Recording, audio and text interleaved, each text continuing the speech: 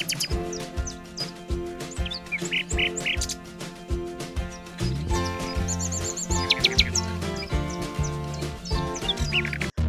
சினிமாவில் சிறந்த பாடலாசிரியராகவும் நடிகராகவும் திகழ்பவர் தான் சினேகன் சின்னத்திரை தொடர்கள் மற்றும் அரசியலில் பிரபலமாக இருந்து வராரு.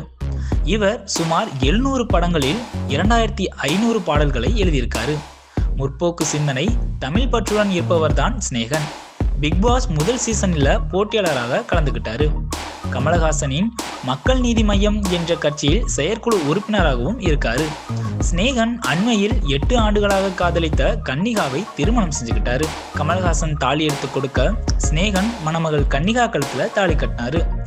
இவரின் திருமணம் இந்து முறைப்படி தான் நடந்துச்சு.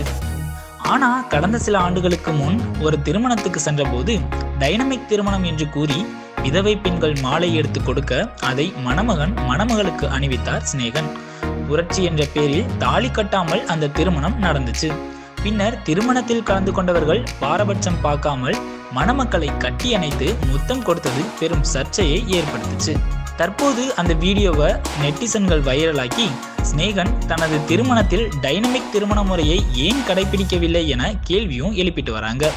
இது போல சினிமாவில் நடக்கிற இன்ட்ரெஸ்டிங்கான விஷயங்களை நீங்கள் தெரிஞ்சுக்கணும்னு ஆசைப்பட்டீங்கன்னா மறக்காம நம்ம யூடியூப் சேனலை லைக் பண்ணுங்க கமெண்ட் பண்ணுங்க சப்ஸ்கிரைப் பண்ணுங்க.